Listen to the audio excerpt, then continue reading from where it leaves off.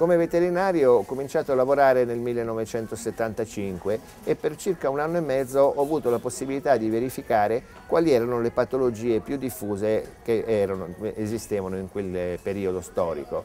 Poi improvvisamente dal 1975 in avanti sono comparte tutta una serie di patologie che prima non esistevano e che erano veramente impressionanti. Parlo di ottiti, congiuntiviti, vomito, diarrea, dermatiti spaventose, infezioni all'utero, problemi all'apparato urinario, problemi di tutti i tipi. E mi sono chiesto quale potesse essere la causa di queste nuove patologie. E ho potuto verificare che il problema era collegato all'alimentazione. E ancora più specificatamente ho potuto osservare che il problema era legato alle carni derivanti dall'allevamento intensivo si poteva notare che il pollo, il tacchino, il coniglio, il vitello, il maiale, il manzo provocavano delle reazioni negli animali. Quindi la, la, la domanda è stata come mai?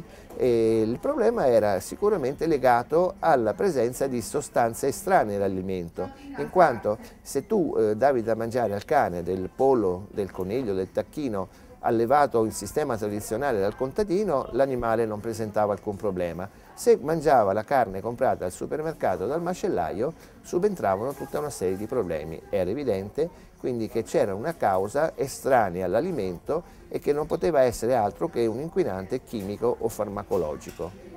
Questa situazione mi ha permesso poi nel tempo di verificare che le patologie sono diffusissime e che attraverso un'alimentazione che elimini la carne derivante dall'allevamento intensivo si ottengono dei risultati straordinari che non sono altro che eh, tornare indietro con l'orologio nel tempo, cioè permettere all'animale di poter vivere in una maniera più eh, normale possibile.